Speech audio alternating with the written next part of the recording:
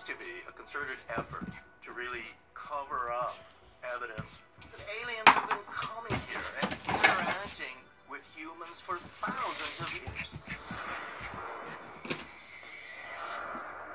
There does seem to be some type of international cover-up taking place.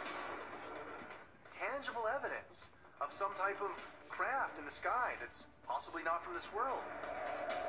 This is a global phenomenon where we're being visited by I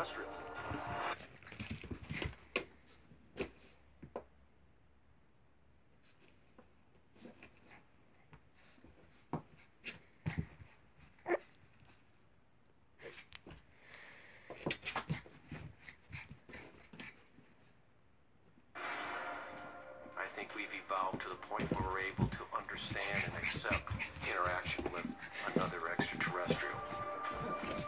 It's out there. Evidence is there. Will we ever really learn the truth about the possibility of extraterrestrial visitors to our planet? And if they are real, why do governments and religions throughout the world continue to deny their existence? Perhaps we are like Penniston and Burroughs, compelled to keep exploring the mystery of our past. Because only then will we come ever closer to discovering our future.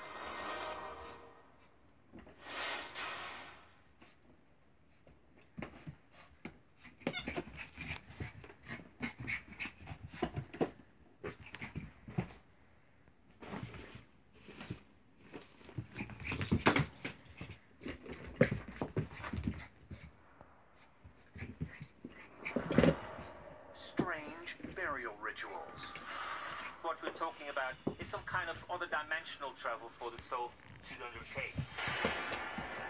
elaborate chambers filled with mysterious objects.